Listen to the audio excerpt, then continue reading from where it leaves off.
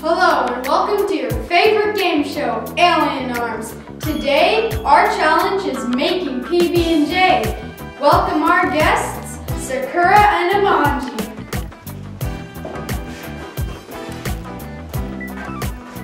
So basically, they will put, the person in the front will put on this jacket and the person in the back will put on the sleeves. The person in the back will put on this blindfold and the person in the front will try to guide the person in the back with words to make a peanut butter jelly sandwich and eat it.